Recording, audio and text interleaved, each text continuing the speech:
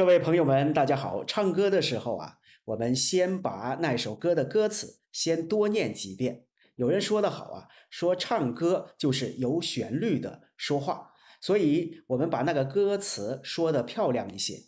呃，又有人说啊，说话说的漂亮，把这段话说的漂亮，就能够唱的漂亮。你比如说，树上的鸟儿成双对。树上的鸟儿成双对，树上的鸟儿成双对。